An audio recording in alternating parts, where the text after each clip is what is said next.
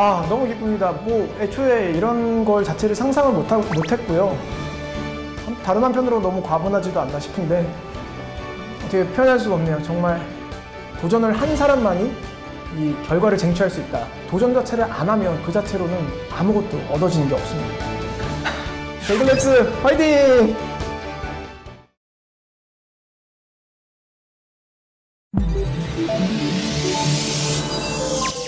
KBS